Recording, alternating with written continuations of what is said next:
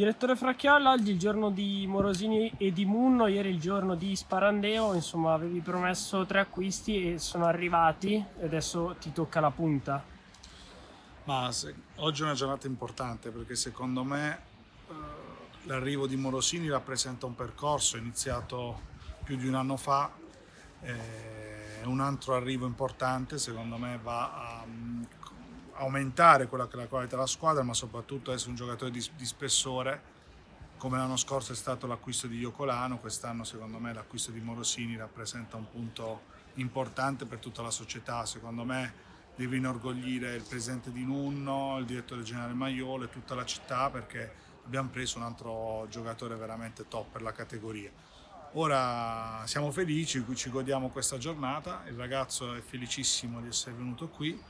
e quindi questo è un punto importante. Ora testa bassa, abbiamo la partita di Vercelli che secondo me è una partita molto importante del mercato, sì, forse manca solamente un ultimo tassello, però vediamo. Già lo sforzo per Morosini, gli altri sforzi per completare la squadra sono stati importanti, ora vedremo se,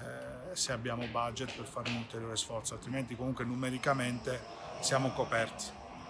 Ecco, questo binario col Monza può portare ancora qualcosa proprio in quel reparto? Beh, Finotto è un obiettivo comunque, se ci saranno le, le opportunità per portarlo in blu celeste. Ma Mattia è un ragazzo importante, non solo in cima, credo anche in categoria superiore.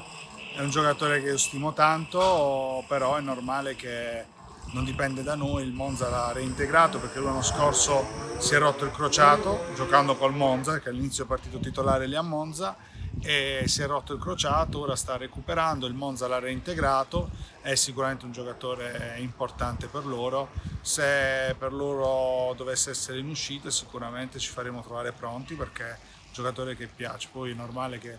ha un grande rapporto con Iocolano e con Morosini, quindi potrebbe essere una situazione importante, però è stato appena reintegrato in prima squadra e quindi credo che possa rimanere con loro, eh, anzi sarebbe giusto perché è un giocatore veramente importante anche in B. Ecco, hai nominato la partita di domenica con la Provercelli, recuperatevi sicuramente l'ora che era squalificato, quindi un innesto di esperienza rispetto alla gara con l'Albino Leffe che magari vi aiuterà anche a trovare quel dettaglio che vi è mancato con, proprio contro l'Albino Leffe a Gorgonzola. No, ma recuperiamo l'ora, è sicuramente un giocatore di spessore. E avremo, avremo Sparandeo, avremo Di Munno, vediamo se avremo anche, non, non credo che avremo Morosini, vediamo,